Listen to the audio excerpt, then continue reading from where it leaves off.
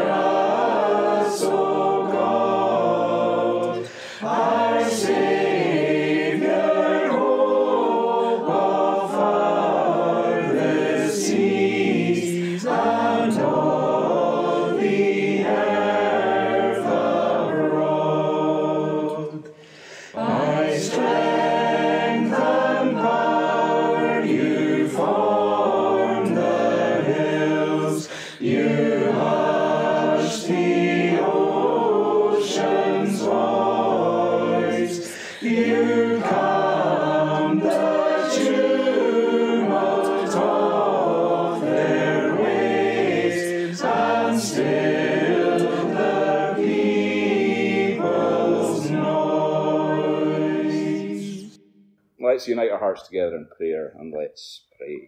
Our Lord and God, we give thanks that you did delight to hear your people pray, that you have great, done great wonders of righteousness for us, that you have sent Jesus into the world to live as we are unable to live and to, to die as we deserve, in order that we may be redeemed, in order that we might become the children of God, in order that we may be forgiven of our sins and reconciled unto you. Lord God, we give thanks for the wonder of the gospel, the good news of Jesus. We give thanks that he is all who he was promised to be, and that he embodied all that you are. He was the exact representation of God the Father in human form. Lord, we give thanks that as he came into the world, that he brings and embodies your truth, that truth that is still in our hands today as we open the pages of Scripture, that living and active word that speaks into the very core of who we are and what we yearn for most.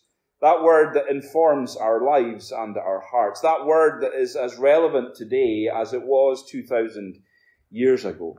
Lord God, we give thanks that we have your inspired and your inerrant word, and we pray that we would live according to it, not just as individuals, but as churches, as congregations, as denominations. Lord God, we pray for the highest court of our church this week as it meets, as it convenes in General Assembly in Edinburgh. We pray, Lord God, your Spirit to be with those who uh, gather there and for all of the business that is transacted, some of it mundane, some of it on the surface boring, and yet all of it necessary for the operation of your church and for the propagation of the gospel out into the world. Lord God, we live in a nation that was once known as the land of the book.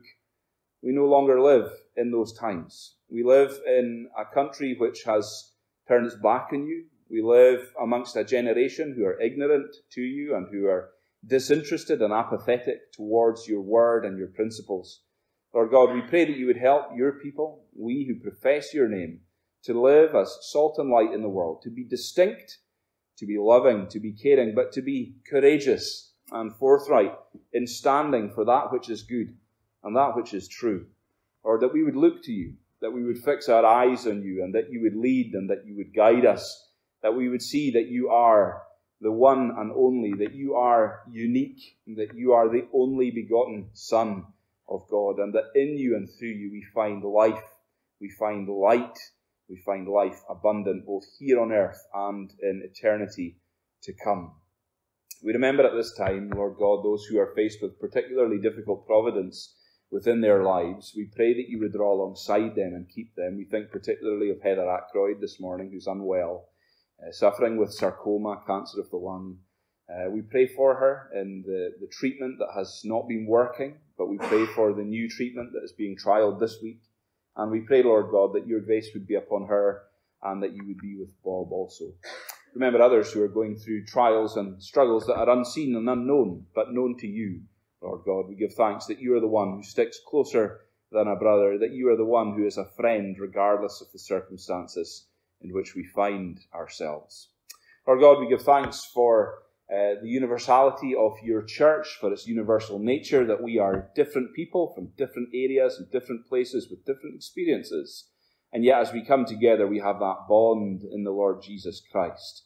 Uh, we give thanks for uh, Tim's time here in uh, Ullapool on his sabbatical. We pray that that would be uh, refreshing to his soul and to his mind, uh, that would be restful to his body, that he would leave here rejuvenated. we give thanks for uh, John and Sharon with us today, and we pray that you would bless and keep them as they enjoy the wonder of your creation, and as we all look up, as we behold the work of your hands and the majesty of the part of the world that you have placed us, we give thanks that you have worked and you have done wondrous things in our eyes. So we pray that you would bless us in this service of worship and that all that is done would be pleasing to you. We ask in Jesus' name. Amen.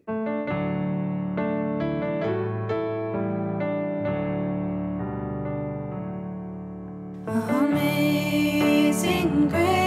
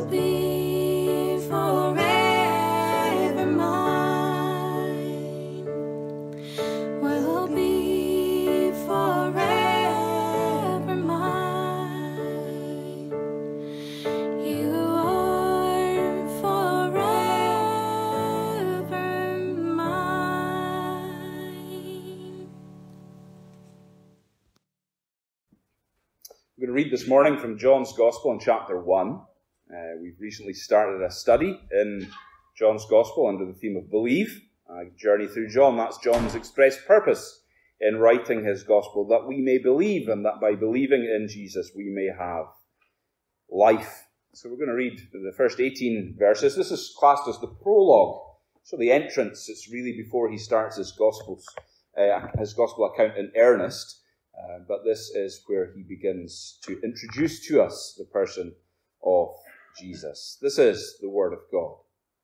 In the beginning was the Word, and the Word was with God, and the Word was God. He was with God in the beginning. Through him all things were made. Without him nothing was made that has been made. In him was life, and that life was the light of all mankind. The light shines in the darkness, and the darkness has not overcome it. There was a man sent from God whose name was John. He came as a witness to testify concerning that light, so that through him all might believe. Just a wee caveat here. Remember, John is introducing us to John the Baptist here. He's not talking about himself. John the Baptist, he himself was not the light. He came only as a, as a witness to the light. The true light that gives light to everyone was coming into the world. He was in the world, and though the world was made through him, the world did not recognize him. He came to that which was his own, but his own did not receive him. Yet to all who did receive him, to those who believed in his name, he gave the right to become children of God. Children born not of natural descent, not of human decision, nor a husband's will, but born of God. The Word became flesh and made his dwelling among us. We have seen his glory, the glory of the one and only Son, who came from the Father, full of grace and truth.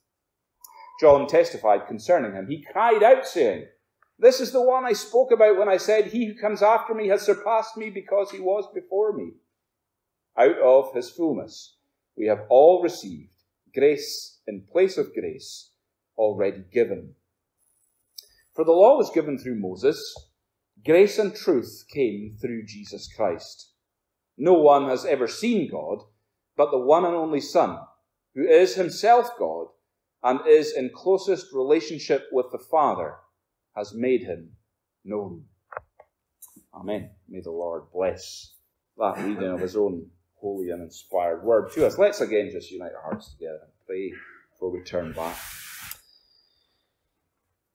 Lord, we recognize that as we come before you in worship this morning, that we have failed you.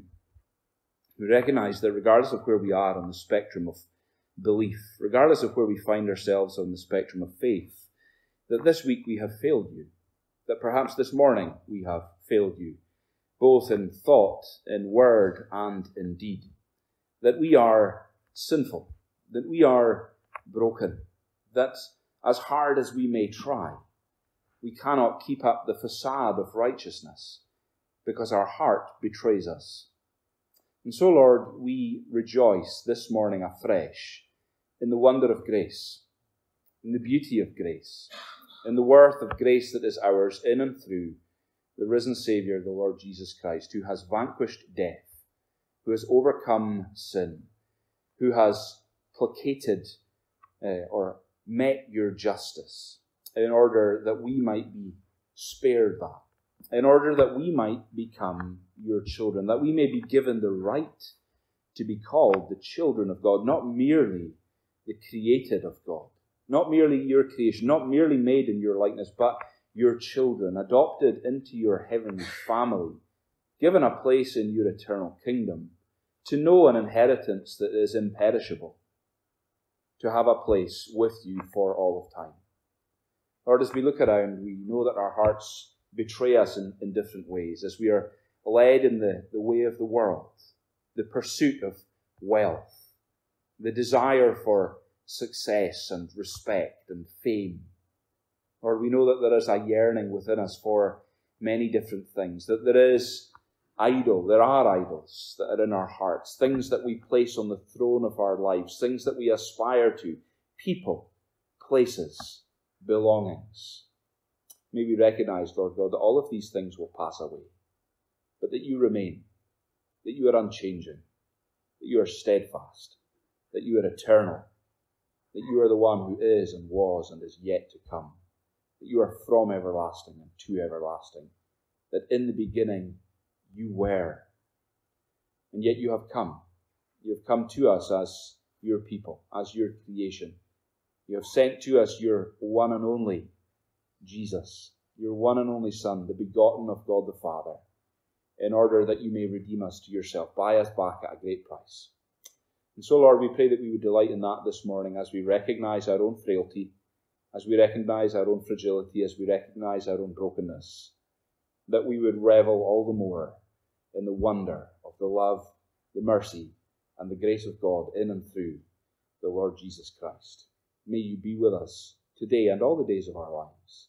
May you be with those who need you in particular ways this morning, known to you, perhaps unknown to us. Those you have burdened our hearts with, that we would pray for them and help them practically, and that we would know you, that we would receive you, that we would believe you, and that you would be with us in that, we pray in Jesus' name. Amen. Before we turn back to uh, God's Word for a moment, this morning we're going to again sing, this time from Psalm 139a, verses 13 to 18 from the Sing Psalms. We'll stand and sing. For you, O Lord,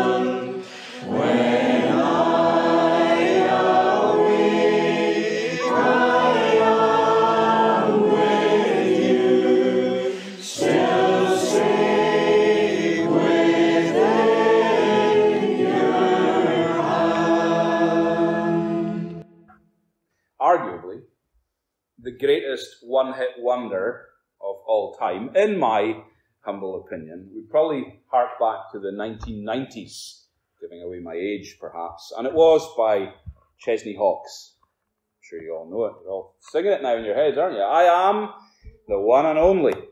Nobody I'd rather be. There is a sense in which, of course, that is correct, that we are all unique, that we are all individual, and yet, over against that, we are all the same.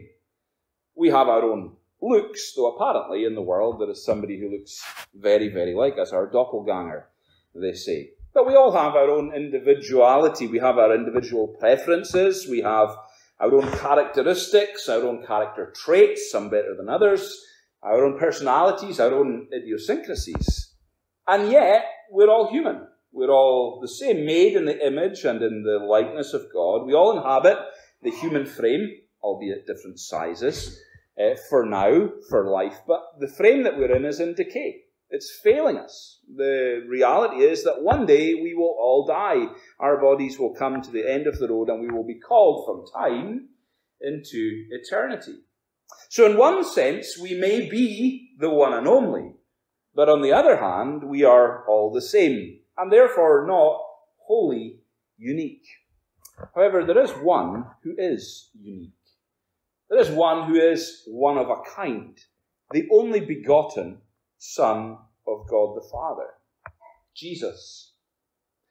We know the verse, don't we? John 3:16, perhaps one of the most famous verses in all of Scripture. And we know it in different ways depending on how we learned it or from what translation we learned it from. For God so loved the world that he gave his one and only Son.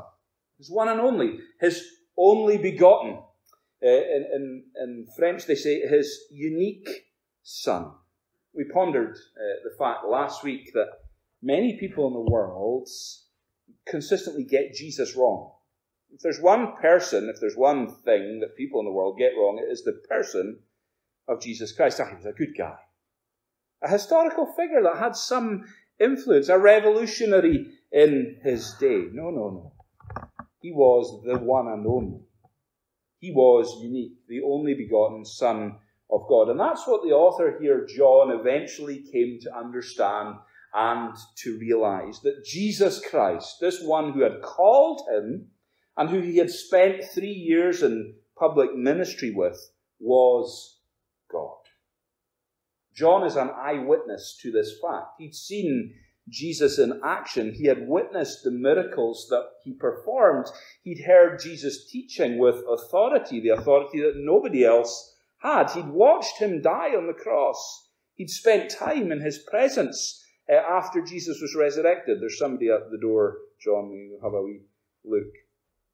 And so, John affirms for us, right at the outset of his book here, the deity of Jesus. As he begins to give us his gospel account under the inspiration of the Holy Spirit, he tells us, verse 1, in the beginning was the Word. In the beginning, Jesus was alive, and the Word was with God, and the Word was God. That Jesus was the Word, and that He existed, He was pre existent.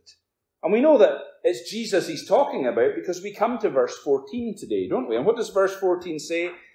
The Word became flesh and made His dwelling among us.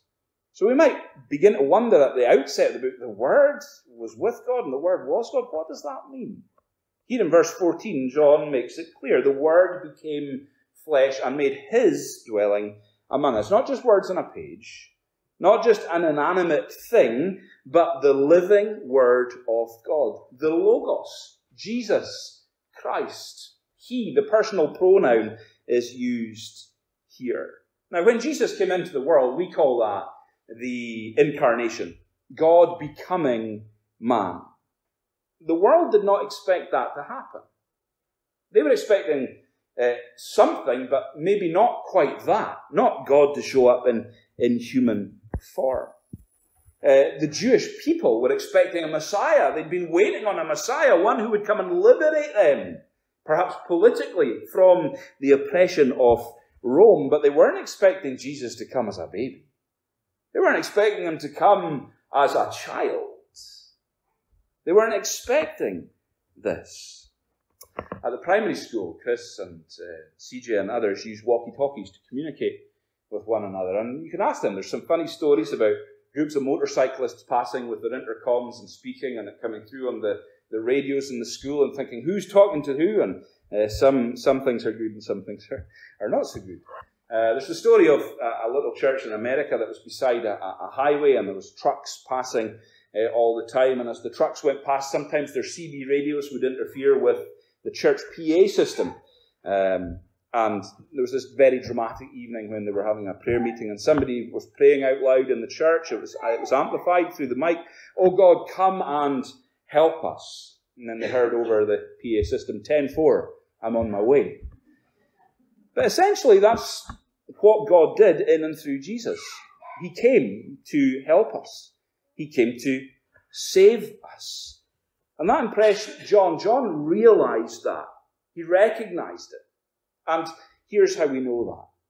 Because in chapter 1 of John alone, John employs at least 13 different titles or names for Jesus. 13 of them, at least. Others say as many as 22. I can't quite reach 22. He calls him Jesus. He calls him Christ. He calls him the Lord, the Word, God, the true light, the Lamb of God, the teacher, uh, Messiah, the Christ, the King of Israel, the Son of Man, the Son of God. Billy Sunday, the professional baseball player from the last century who turned a Christian evangelist, wrote this There are 265 names in the Bible for the Lord Jesus Christ, and I suppose it's because he was infinitely beyond all that anyone could name, any one name could ever express. He was infinitely beyond all that any one name could ever express. John would say, Amen. I, I agree with that. So here he is in his prologue, his introduction to his book. 1 through 18, these verses is the prologue, and yet we come to verses 14 to 18, and it's the prologue within the prologue. It's the summary of everything that has already come to pass. And what John's motive here, what his desire, what his, his purpose is in his opening verses of this gospel, is that you would understand that Jesus Christ is unique. That he is the one and only. There is nobody like him. He is one of a kind.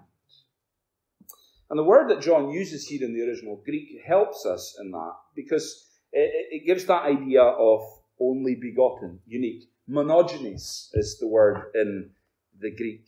Uh, it appears in, in verse 18. No one has ever seen God but the one and only Son. So a couple of times, verse 14, verse 18, that appears. No one is like Jesus. There is nobody like him. He is unique. And so this morning, uh, a few things about the uniqueness of Jesus, the one and only. Let's read verses 14 to 18 again, just uh, as we recap. And the Word became flesh, John says, and made his dwelling among us, and we beheld his glory, the glory as of the only begotten of the Father, full of grace and truth.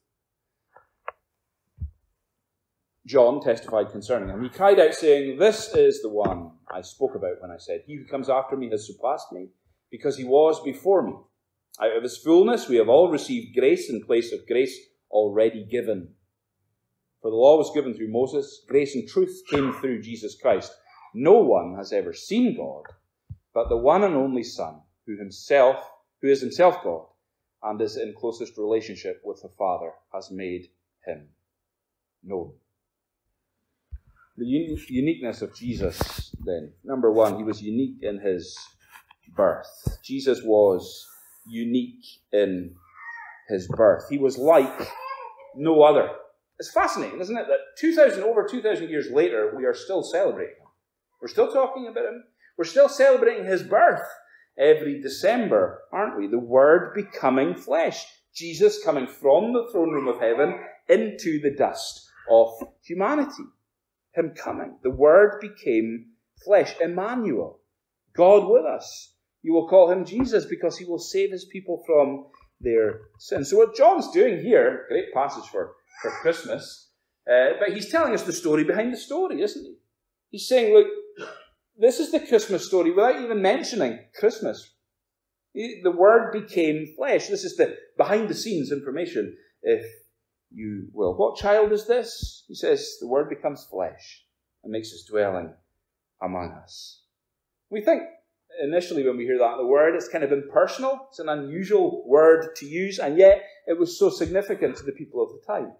It was significant to the Greeks, it was significant to the Jewish people, so that they knew without a shadow of a doubt who John was talking about the moment he used that word.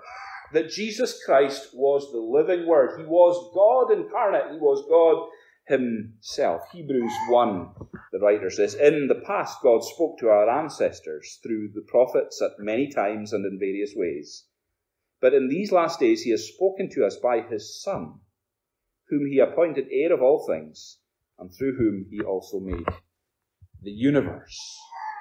Jesus Christ, the Creator, the Sustainer, God. Notice what it says there. Does it say that he was born in, in verse 14? Does it say that he was created? No, it says that he became flesh. Interesting, isn't it? When you begin to think about that. Doesn't say he was born. Doesn't say that he was created for this purpose, but no, it says that he became flesh. God, uh, John has already alluded to the fact that Jesus was pre-existent, that in the beginning he was. But now that he became flesh, the word became flesh and made his dwelling among us, that it was done by him for us. It's a simple statement, but it's a profound fact, is it not? Hmm, one of the most profound in all of history. The infinite becoming finite, the invisible becoming visible, eternity being squeezed into time, the supernatural being confined by the natural. Was he ever confined? That's another trajectory altogether. The Word became flesh. These four words, pregnant with significance and real meaning. A.T. Robertson, one of the greatest Greek scholars of all time, said of this verse, this is beyond the power of interpretation. And yet we get it, right? We can understand the Word became flesh. Jesus became flesh. He became a man. And yet when you begin to really think about that, your mind is blown.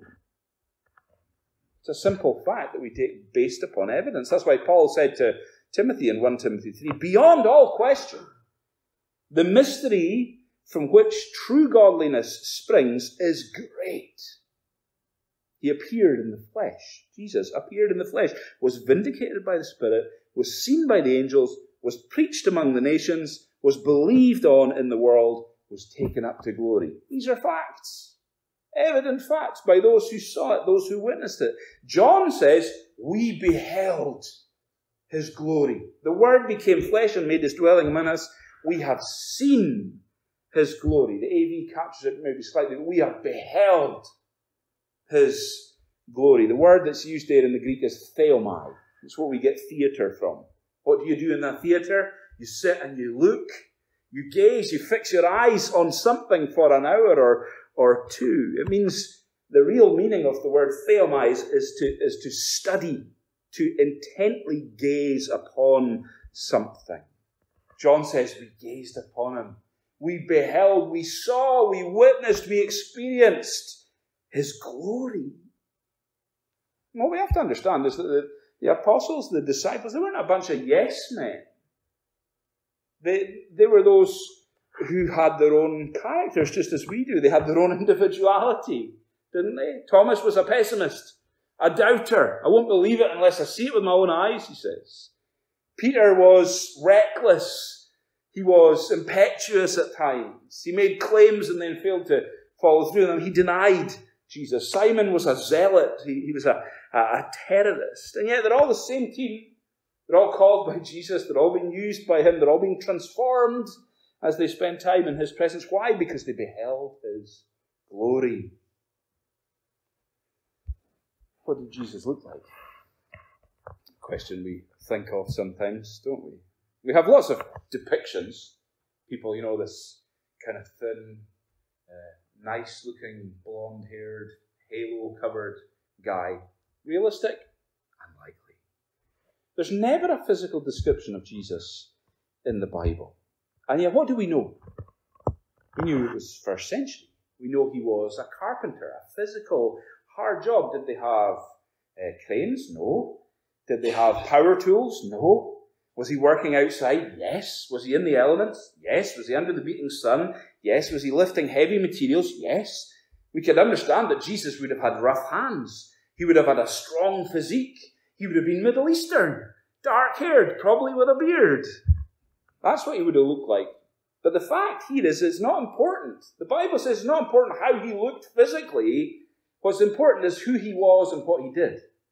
And there's a lesson to us in that, in the world of superficiality that we live in, isn't there? Not important what he looked like. Doesn't matter what he looked like physically. What matters is who he was and what he did. The Word became flesh, unique in his birth. Secondly, he was unique in his supremacy. Verse 15 is all about that, isn't it? John bore witness of him. John testified. John the Baptist testified concerning Jesus. He cried out, saying, This is the one I spoke about when I said, He who comes after me has surpassed me because he was before me. And we think, that's a really strange way of saying something, isn't it? Bear with me a second, we'll get to that. John the Baptist, again speaking of Jesus, speaking of the unique supremacy of Jesus. In the beginning was the Word, and the Word was with God, and the Word was God. He made everything, He sustains everything. He's the source of light and life. He became flesh. So John's exalting Jesus from the very get go of the gospel here. And then he's bringing in John the Baptist as a witness to Jesus, one who testified uh, to Jesus, not only that he was unique in birth, but unique in his supremacy. Because remember, John the Baptist was a big figure, wasn't he? He was popular, he was a fiery preacher. He had a lot of people following him, interested in him. Some of them even thought that John the Baptist was the long awaited Messiah. But he, he burst that bubble. Listen, guys, I'm not the Messiah. I'm not the one you've been waiting for. There are multitudes following him, according to Luke's Gospel. All of Judea, according to Mark, came out to hear John the Baptist. He's a popular preacher, but what's he saying? It's not about me, guys. It's not about me, but it's about the one who's coming after me. The one who Jesus said of in Matthew 11 Truly I tell you, among those born of women, there has not risen anyone greater than John the Baptist. So he's popular. He's got a following, but even he is saying, look, as popular and as powerful and as great as I may be in worldly terms, I'm not supreme. But he is. The one who's coming. It's interesting how he says it, isn't it? He who comes after me has surpassed me because he was before me. Unusual. But Again, he's appealing to the pre existence, the deity, the divinity of Jesus. John the Baptist was older than Jesus by six months. We know that from the Gospels, don't we? We know that he started his ministry, his public ministry, before Jesus did. I look, I know I'm older, guys. I know I started my ministry before this guy did, but what you have to understand is this one who is coming is not like anyone else that you have ever seen before. He has existed from before all eternity. He's supreme. That's really what it means. He's the only person who lived before he was born. Think about that one for a moment. He's the only person who lived before he was born. That's impossible, we say. It's absolutely impossible. He's the only person who existed before he was born. He took to himself humanity. He is the pre existent God, He is the creator. There's problems with that amongst the religious people of the day. You think you're great? You think you're greater than Abraham, Jesus? What did Jesus reply? John 8 58. Very truly, I tell you, before Abraham was born, I am. Doesn't translate well into our English grammar, does it? But it's great theology. Before Abraham was born, I am. And the Jews knew exactly what he was saying by that and picked up stones to, to stone him, to kill him. Blasphemy, they said. You're making yourself out to be God. And he's saying, mm-hmm, that's exactly who I am. Supreme, unique in his supremacy. So here's the question this morning for you as we gather here in uh, Ullapool in, in May 2022. Is he supreme in your life? Here's John the Baptist, greatest man who had lived up until that time. A notable man, a great preacher, famous, and he's saying, I've got something to tell you, and it's, it's all about him. It's nothing to do with me. I exist for him. I live for him. I serve him. I point you to him, the life giver, the one who comes. He is the supreme. So, what of us who claim to follow Christ? Is he supreme? Or do we give homage to him once a week? Twice a year? Now again? Or is he supreme? John said he's supreme, and because he's supreme, he deserves your honour. He deserves my honour. Thirdly, Jesus is unique in his generosity. Uh, unique in his birth, unique in his supremacy, unique in his generosity. Verse 16 Out of his fullness, we have all received grace in place of grace already given. For the law was given through Moses, grace and truth came through Jesus. Grace. John loves that word. Paul loves that word. We love that word, grace, that which we do not deserve being given to us. Out of his fullness, he is given. Verse 16 is a difficult verse to translate when you look at the original language because of that word, fullness. And here's why it's difficult because John never uses that word in all of his writings. Pleromatos is the Greek word. He never uses it except right here. But Paul uses term. Paul uses it all the time. It's a favourite word of Paul. Paul uses it a lot. John never uses it. And what John is saying here is that Jesus is the unique channel of God's blessing to us, and it is based upon His grace. It's based upon grace, not what we deserve. Thank God. It's based upon grace, what we receive by His grace. Out of His fullness, we have all received what? Common grace. Everybody receives common grace. We are all in this room today. Everyone in this village, everyone in the world is a recipient of common grace. What do I mean? Regardless of who you are, a believer, unbeliever, Muslim, Mormon, Catholic, evangelical, Presbyterian, agnostic, atheist, ap- uh, you know, somebody who's apathetic, we are all recipients of common grace. We all have air to breathe, gravity to keep our feet on the ground. We all have uh, health and well-being, knowledge, uh, cognitive ability. We have bios. Remember the words for three words for life in Greek? Bios, biological life, psyche, psychological life. But we don't all have Zoe, eternal life. We are all recipients of common grace, bios, psyche. But saving grace, saving grace comes when we receive and we believe Jesus Christ.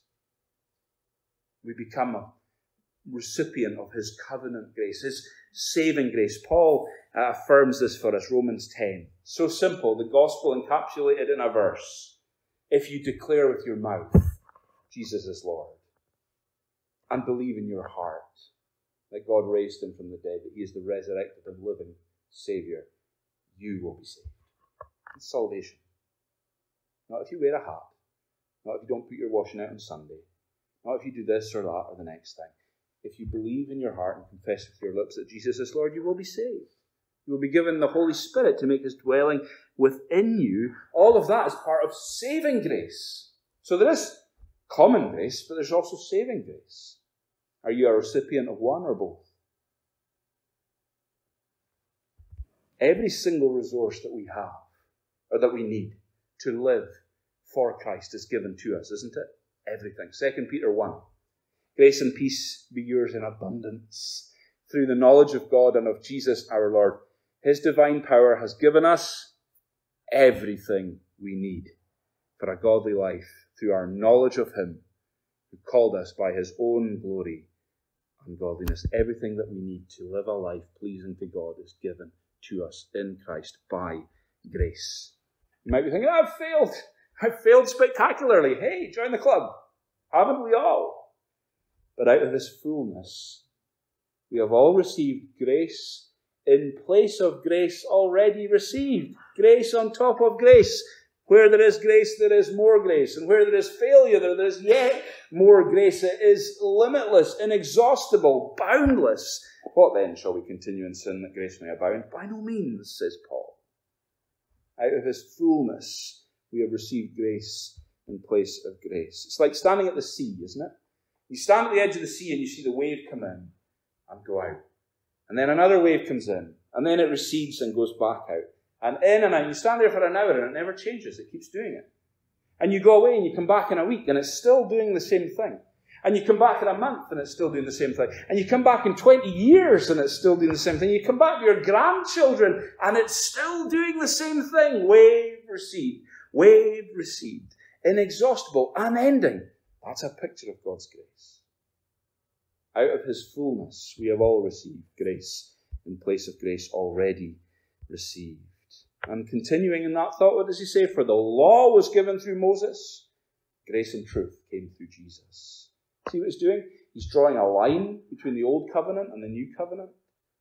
The old covenant was the law. The law dictated to us where we're failing and how we falter and how we're unable to keep God's righteous standard and his law. But then Jesus comes and he says, Look what I give you.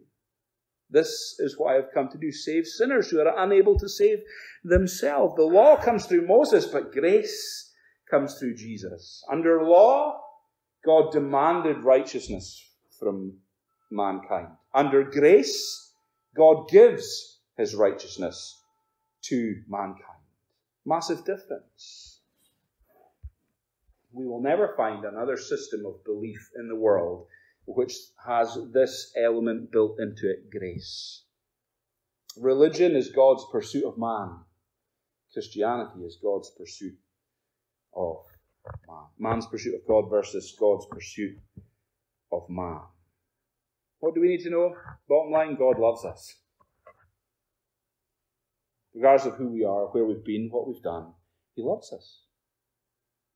He loves us, and He gave His Son, His one and only Son, the unique one, unique in his birth and in his supremacy and in his generosity, so that we might be free, so that we might be safe, so that we may be eternally secure. This is the gospel. This is Christianity. Dr. Karl Barth, 20th century theologian, one of the greatest minds on the earth, was asked once if he could sum up his life and his faith. And he said, Jesus loves me. This I know, for the Bible tells me so. A child's hymn, a child's song. So simple that a child can sing it, so profound that a theologian can base their life upon it. Fourthly, finally, very briefly, Jesus was unique in his clarity. Unique in his clarity. And what I mean by that is that if you want to see God clearly, you need to look at Jesus.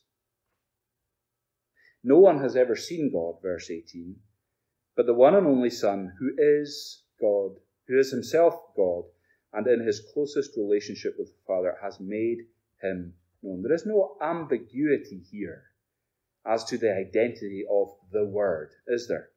Who Jesus is. None other than God himself, God the Son, second member of the Trinity.